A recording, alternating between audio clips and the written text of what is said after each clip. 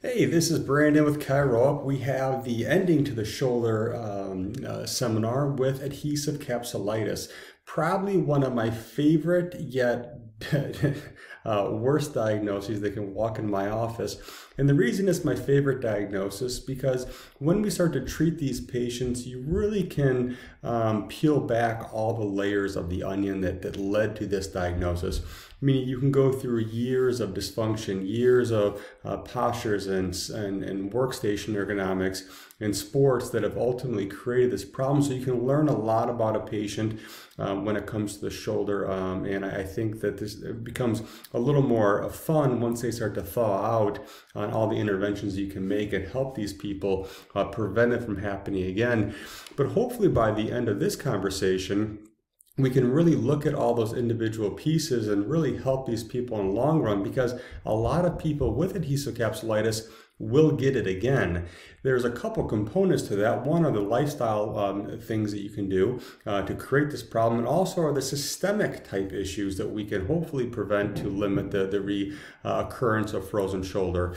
So diving into frozen shoulder, most people look at it as adhesive capsulitis as far as uh, the professionals. However, um, you know, or adhesive capsulitis or frozen shoulder is what the uh, patients will often describe it as. And this is an ongoing, it's, it's, it's a painful limitation of active and even passive ranges of motion. So we're going to see this very frequently with a rotator cuff problem. Someone doesn't want to move their arm. Um, impingement syndrome and SLAP lesions and rotator cuff syndromes, they just don't want to do it but passively I can still do it. I can still passively take that arm into full flexion and abduction. With adhesive capsulitis, they can't. It's just not even available to them, that range of motion. So not only is the glenohumeral joint not moving, what we're also going to see is if it's been there long enough, we also see limitation in range of motion uh, to the parascapular areas, uh, into the scapula, into the rotator cuff muscles. They've really become tight um, and that, that range of motion is often lost. Whereas with impingement syndrome and labral lesions and rotator cuff syndromes, we see a lot of limitations in internal rotation. With adhesive capsulitis, we're also going to see limitations in internal rotation, but we're going to see the hallmark thing being a loss of external rotation.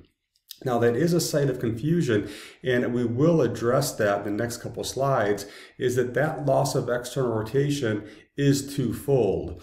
One, it can be due to the capsule limiting external rotation, which we're going to see with adhesive capsulitis or frozen shoulder, but also it's a possible uh, limitation in external rotation due to that subscapularis.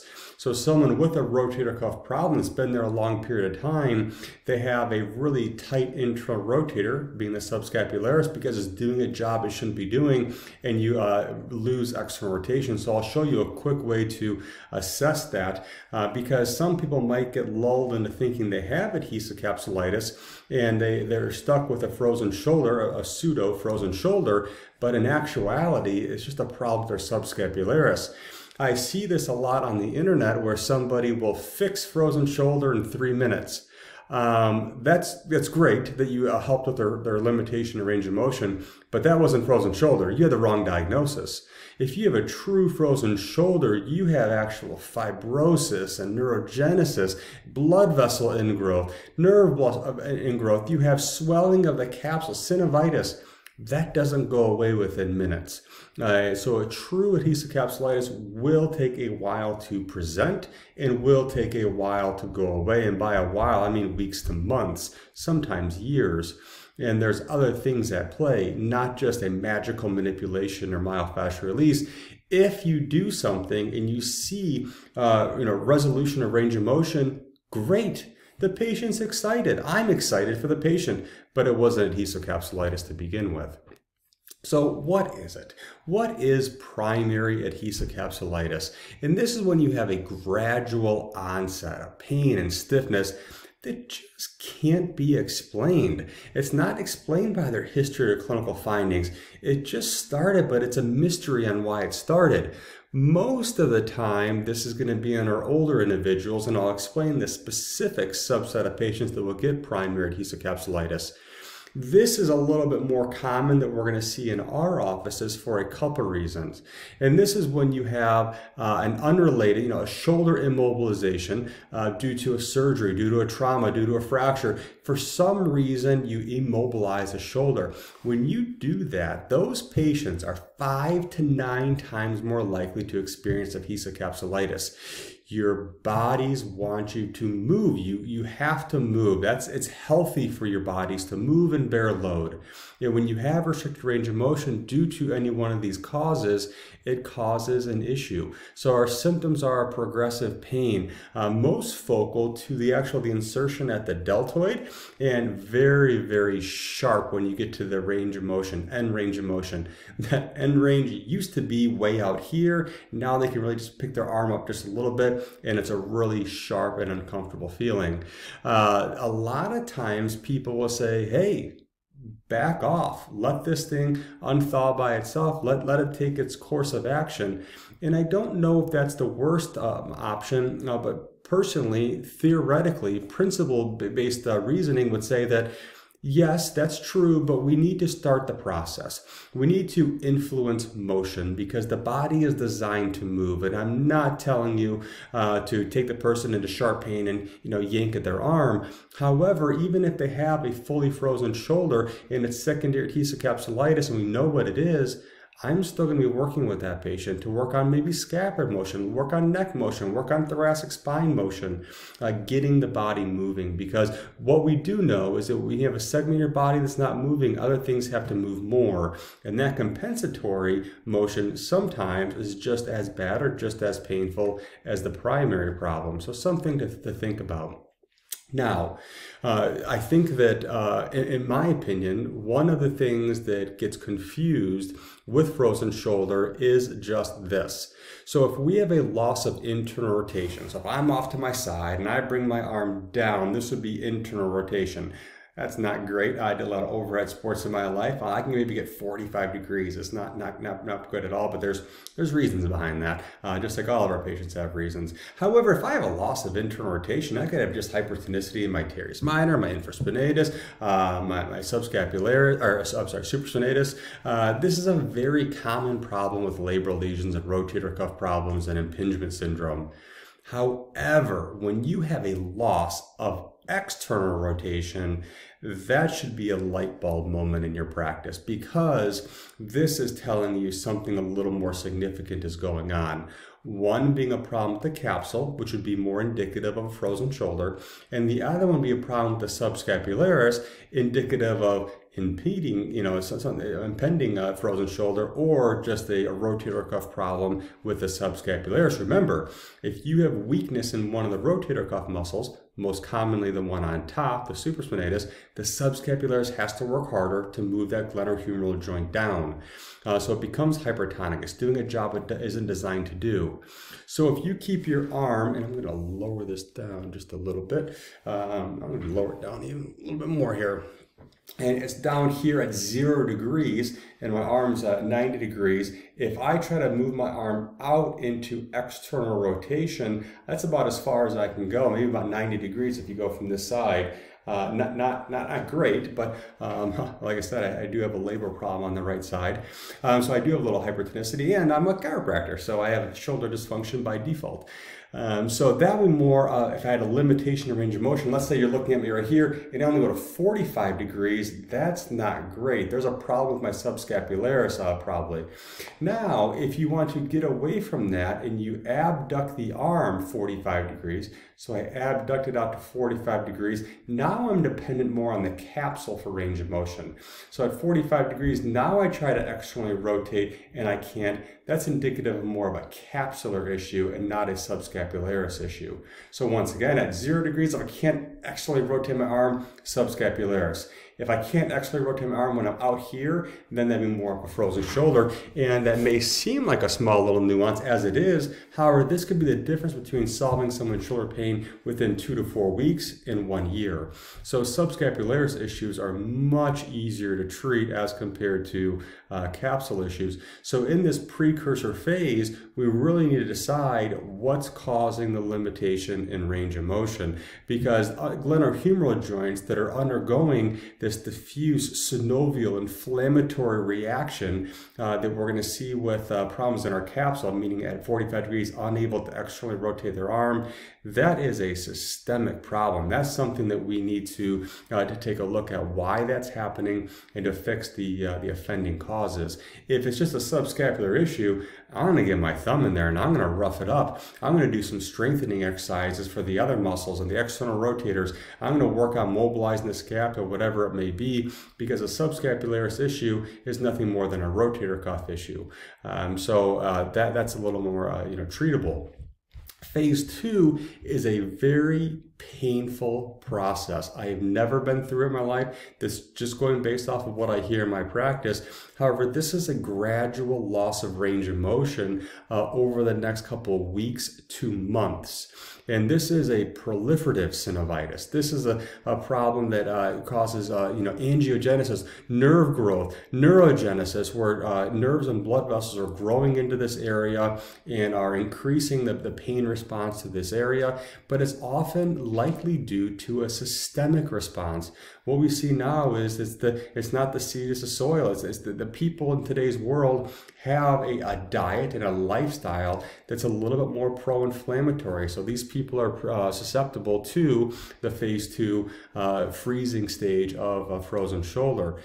Once we hit, uh, you know, phase three, I do have a, uh, what is she now? She's 10 years old. So she was right there in the middle of the Frozen stage, our Frozen movie when it first came out. And I can still sing every word to this song as embarrassing as it is. Uh, but Frozen stage is one of those pieces that when it's lost, it's lost. It's really not inflamed at that point, meaning it's not constantly hurting. It's just there. Uh, they're not able to go through range of motion. That fibrosis, that capsular thickening, uh, the adhesions that are built up because of the layers of muscles and ligaments that adhere together. We see uh, sometimes some inflammation, the subacromial bursa. Uh, we just see everything is not moving very well, not really moving at all. Uh, this prolonged immobilization can really be detrimental to the shoulder though, just like we know with every other part of the body, when you immobilize a joint, everything around it gets uh, uh, atrophied, degenerated much at a faster, much faster rate, um, and we can actually experience permanent uh, motion restrictions. So this is a stage. Um, I'm not going to take a sledgehammer to it to get it moving, but I also want to keep in my mind that I need to get it moving. Once they've gone out of this stage, the phase two, and once we've gotten into this stage where it's not hurting as much, it's not inflamed, that's when I need to get some work done. And by work, I mean I need to, to, to start to uh, progressively increasing the load, increasing the range of motion, uh, so I can start to get this thing to, in essence, thaw out. Uh, this is not a quick process. I, I, I, will admit that I don't see a lot of uh, uh, frozen shoulder cases in my office anymore. And the reason is because I work with a physical therapist office that does a great job of this. And it's not that I don't like treating it, and I still see the patients frequently for neck pain and upper back pain and scapular issues. Um, however, I have the physical therapist manage these cases because it just takes too long. I have a practice that is based upon getting people in and out of pain as fast as possible. And this diagnosis just doesn't fit into my brand of what I do in my practice. Um, so I'm not, um, you know, someone that is best suited to treat these just because of the way I, I run my office. There's another component though. There's another piece of this puzzle that I farm out. And the reason I do that is because I am not a dietary kind of guy. I think in the past lectures, you probably heard me say I'd rather change your religion than change your diet. And the reason I say that for this situation is when we really look, really look at the incidence of adhesive capsulitis, it rises 10 to 20% if you're type 2 diabetic, uh, 36% if you're type, uh, type 2 diabetic. Um, so we see that a lot of these patients, uh, I'm sorry, that are on type 1 and type 2 as you see here. Um, however, um, 38% of, of, of, men who have uh, diabetes and 24% of women who have diabetes um, have signs and symptoms associated with adhesive capsulitis. So diabetics have more of these issues. The question is, is it truly a blood flow problem? And I think there's a component to that. But what we talked about with rotator cuff syndrome and really every other um, diagnosis is it's not the activities that people are doing. Your body is a self-healing organism, so your body is able to, to tolerate load and is able to get injured and then heal. There are some people who are not able to heal fast enough. So normally if we do an activity, we'll go through an inflammatory reaction, uh, our body will heal and we'll move on people with thyroid disease, people that um, have diabetes are unable to heal at the same rate. So these people are at increased risk for developing uh, adhesive capsulitis because of their failure to heal. Uh, we all do dumb stuff to our bodies on a regular basis. Uh, the question uh, becomes, who can uh, recover from those.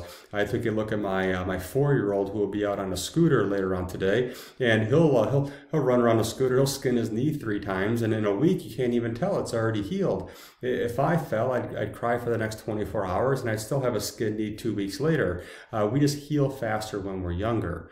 Now, when it comes to adhesive capsulitis, uh, we're going to see this more frequently in female and if you've had it on one side, chances are you're going to get it on the other side. There's a couple different reasons for that, but I think the main take home message to this is that this is not a primary localized lesion. This is a failure to heal response, failure to heal diagnosis. And uh, that's not one side versus the other. Uh, symptoms. Uh, sleep disturbances are common, and this is usually more in the phase one, phase two stage where you're going to have inflammation. If you have inflammation, you have chemical irritation of any part of your body. When you sleep, you don't have other external uh, noises and sounds and pressures on your body. Your body's going to focus on those spots that are trying to heal or that are inflamed. So, sleep disturbance is pretty common. The most common thing that I'll hear as far as an activity modification is your grooming and dressing. Just because you can't get your arm behind your back, you really can't do much at all with that arm, including doing your hair and those kind of things. Uh, so people will often need a little bit of help uh, with, with those normal uh, ADLs. Uh, when it comes into the evaluation, this is the, the piece that unfortunately I'm going to give you the, the most sensitive and specific test. And I can tell you right now that most people that I see in my practice are already in that frozen stage and you can't do anything to them. Um, but let's let's work this person up as if you, you don't know if they have adhesive capsulitis to begin with. We need to figure out one, is it adhesive capsulitis? Um, or two, is it just something uh, like a typical shoulder pain where you have loss of internal rotation. So uh, one of the, the, the, pathognomonic things that we see with uh, uh, adhesive capsulitis is external rotation. If you have a limitation of external rotation that is greater than 50% of the other side, then we have an issue. Uh, and this is normally measured with the arm in full or 90 degrees of abduction, and then the arm is going to be in the frontal plane. Uh, so we really want to make sure that we can assess this. So you can look at the, the uh, affected side versus the unaffected side. And if, uh, if you have a loss of 50% on that affected side, um, I'm really going to lean onto adhesive capsulitis type diagnosis. Uh, and this is passive range of motion. Um, this is not active range of motion. When you do things actively, um, then you can really, um, uh, you know, you're taking into account uh, neurogenic uh, or arthrogenic inhibition due to pain responses. Uh, when you're doing it passively, you're looking at pure joint motion, and adhesive capsulitis will affect the joint proper.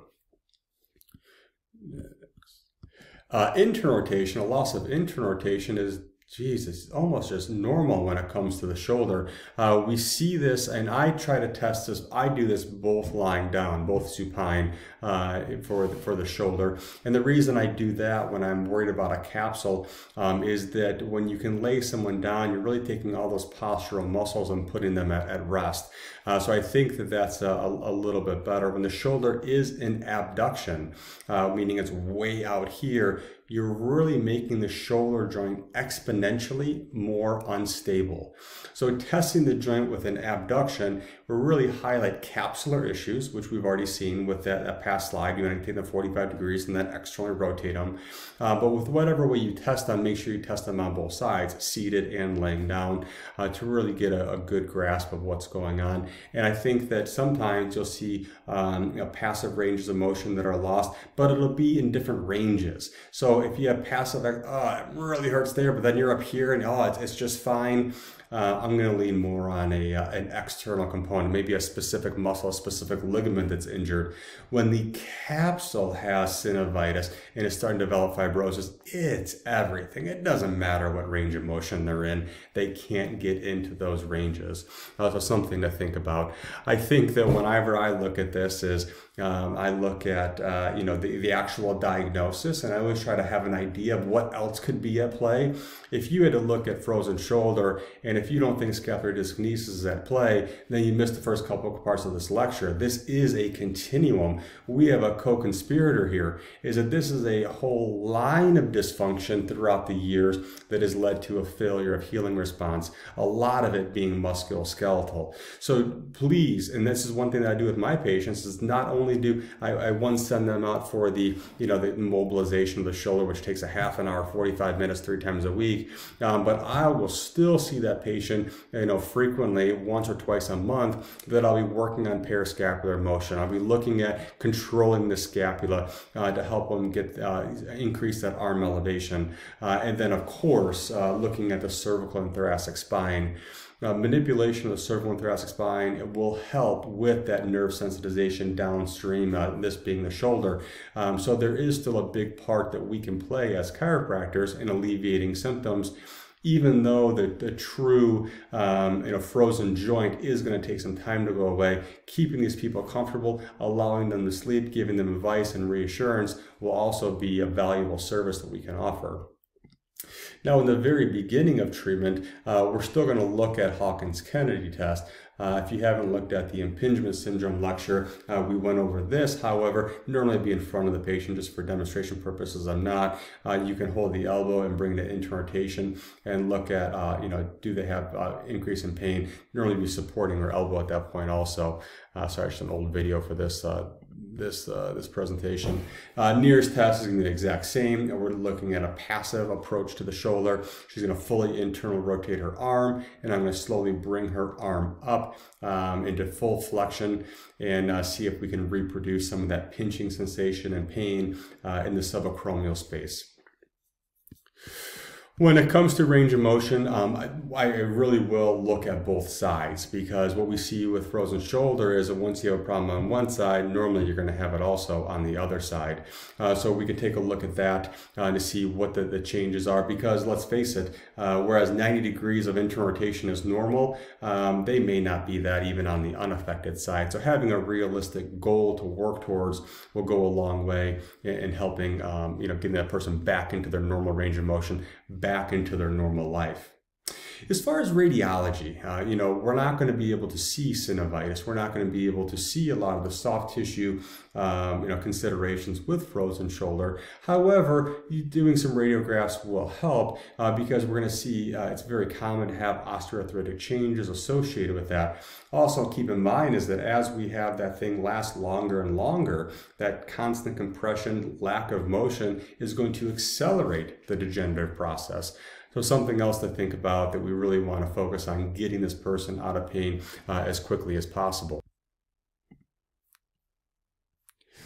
So when we get into the uh, the imaging, uh, while X-ray may not be the best option in there, we we do want to focus on what we can visualize and what we can make an impact on. MRI really is appropriate when it comes to um, a frozen shoulder because of the duration and the cost and the time, the disability associated with frozen shoulder. We need to make sure there's nothing else going on. So MRI is appropriate to really rule out other causes of rotator cuff uh, pathology. Normally our rotator cuff pathology is six weeks, maybe 12 weeks, and this thing should be knocked out um, with an MRI, we're going to see that there are certain things going on with an MRI that we need to be aware of. Myself, as a, as not a DACBR by any means, uh, an actual radiologist is going to look for you know uh, problems with the axillary recess thickening, looking for that synovitis, looking for jo uh, joint volume to be compressed and reduced, um, and we're going to see thickening of the rotator cuff muscles. We're going to see proliferative synovitis around the capsule. Uh, so a lot of things that can be, uh, be popular uh, with this kind of a diagnosis. Uh, but what we'll see with this uh, shoulders, we'll often do an arthrogram, and we'll see with that arthrogram, we'll see diminished joint capsule capacity, meaning that they're not having much fluid in there. And what we know from most joints is that that constant compression and motion will increase fluid within the joint, and they're just not getting it. The most common thing that I will see, once again, not a radiologist, but you'll see this axillary, or some people call it the subscapular recess or pouch, has diminished. And I think that's the next slide. Yeah. Um, so a normal axillary pouch is just gone uh, so part of that capsule is being compressed and due to that thickened, uh, you know, inferior glenohumeral ligament, um, we're starting to see that axillary pouch diminish in size. So things that we can look for uh, on an MRI to hopefully lead us in this right diagnosis. Now keep in mind, this is the thing that uh, will sometimes get people. Um, so the subscapularis, which is you know the inability to external rotate at zero degrees, is one of the failures of diagnosis, meaning this isn't adhesive capsulitis, it's something else, just a rotator cuff problem. The second one, which I've been fooled on, and it's, it is often very uh, difficult to treat, um, is a cervical radiculopathy when they have pain right here. You know, we think of this pain, I don't want to move my arm, it hurts and it's, it's terrible. Um, sometimes the pain's not from that location. So in that case, it's more of a cervical radicular pain. Uh, we'll see um, a radiation to the deltoid tuberosity, very common. The way that I do that in my practice is I'll use some orthopedic tests to kind of highlight that dysfunction. Things like the arm abduction sign. Now, with a frozen shoulder case, they can't get their arm up to here. But I will say that passively, if you can get their arm up to here and rest it there and let them have be, be dead weight with that, um, and if that pain goes away, it gets better with abduction. Uh, it usually leads me in a direction of more of a cervical type problem. Yes, you can do maximal foraminal compression test and see if that pain gets worse. Anything that's going to move the neck and uh, exacerbate uh, shoulder pain, uh, I'd want to I want to at least investigate the neck a little further. I also use the arm squeeze test where you're going to create compression around the, the arm. And if I put compression with about two to five pounds of force around the arm and I exacerbate those symptoms, it's possibly due to compression of the nerves. If I squeeze down here and it reproduces pain up here, um, then, uh, then I'm thinking more of a cervical radicular pain. If I push here and does nothing to my shoulder, my shoulder still hurts, then it's probably just more of a shoulder problem like adhesive capsulitis. So what do I do for adhesive capsulitis? Uh, I think that the biggest piece of this is really understanding where the person falls in the continuum phase one phase two phase three phase four. And then uh, with those with that diagnosis it kind of can lead the methods lead um, lead what i'm going to do to the patient because i know that i have to get things moving both actively and passively as fast as possible. Uh, and if i have a loss of range of motion you know this isn't that 25 to 50 percent loss of internal rotation or external rotation? I need to get this moving better because if I don't, they're going to keep on going down that, that process of, of, of the, the joint freezing essentially. Um, when we looked at the literature, and we do a lot of research, we have research papers delivered to us on a monthly basis in the hundreds. Uh, we'll go through the research when we're developing our uh, condition references. Uh, it, it's a couple month process. We have people who are diplomates in rehab and orthopedics and radiology and nutrition um, and neurology all give us this information. And I can tell you one thing that there is a very, very specific way to treat frozen shoulder. It's throw the kitchen sink at it. And I say that in jest, but there is no single intervention that's going to help every single person with adhesive capsulitis. There's just too many variables at play. And like I said, I am I'm, I think I'm fairly decent at treating some of the variables. I am not qualified to treat all the variables, meaning manual therapy for adhesive capsulitis shows varied outcomes. And when you look at the literature, and the reason it shows varied outcomes is because the musculoskeletal component is only a piece of the puzzle. Manual therapy is great at improving range of motion, improving function, decreasing pain, but that's only one piece of the puzzle. Uh, there's also papers that just show supervised neglect uh, will help these things flaw, or, or thaw. Uh, it'll take a little bit longer of a time, but we don't need to entertain our patients with expensive uh, treatments and modalities. And I think there's a piece of that puzzle, but uh, just like inflammatory arthropathies and diseases, is that people have cycles of, um, of different hormone profiles and nutritional profiles based on seasons uh, that can affect uh, the systemic response. Also, working with diabetics, working with thyroid disease, there's a lot of other issues at play. So I'm only going to talk about the musculoskeletal component uh, for the sake of uh, simplicity and what we normally do. I think that when it comes to the uh, phase three and phase four, meaning it's not inflamed anymore, I need to get things moving. And I, what I do is I use a, an instrument assisted manipulation and I go through there and I rough it up. Now, I would of course use lotion, but just for the, this demonstration, I'd go along all the muscles, the supraspinatus, the teres minor, the infraspinatus, the subscapularis. I'd use a tool, I'd use my hands, I'd use a sledgehammer. I would get things moving. Whatever is your soft tissue du jour, that's what you're going to want to do. Uh, and create an inflammatory response. You don't want to leave them bruised and aching and pain, but you need to start to get them moving. Uh, there's a lot of good research on instrument system manipulation to help dig in a little bit deeper and create a pro inflammatory local response. We can also do mobilization. Now, Mobilization. There's a lot of people who will do uh, mobilization type uh, diagnoses. Uh, let me turn this back on. Mobilization of the glenohumeral. There we go. Um, so glenohumeral mobilization will um, only be directed at the ranges of motion that are lost. So checking side to side, in this case, mostly uh, your flexion, your abduction, and your external rotation. And you really want to focus on just taking them to that range. And a lot of this is convincing the person they can get up into that range. So there's a psychological component that you're not going to hurt the person. And then once you get to those ranges, you are hitting a fibrotic block. Um, so don't think you can push through it. Uh, you're not going to push through that, uh, but tissue does respond to stress. So repetitive motions, uh, stretching will help uh, increase the range of motion, but it will be slow. You're not going to see dramatic ranges um, within a treatment visit, but if you can marry what you're doing in your office psychologically and physically to their exercises, they can be doing those exercises throughout the day and it can really help make the soft tissue changes that are necessary to get these people out of pain. Um, I think this is a, a very understudied type um, treatment is working on the scapula. I do this on all of my uh, adhesive capsulitis patients. I work them into upward rotation. I work them into retraction, protraction, um, and I really just in every direction possible get everything else moving, meaning even the cervical and thoracic spine. Uh, so if you look at my right hand, I guess that's in this case, it's supporting the shoulder. It's a safe position for the shoulder, and it feels good because they haven't moved that joint in a long time. So there's really no downside to mobilization of scapula.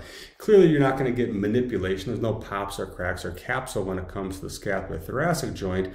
However, this is a great way to get things moving, uh, at least start the process.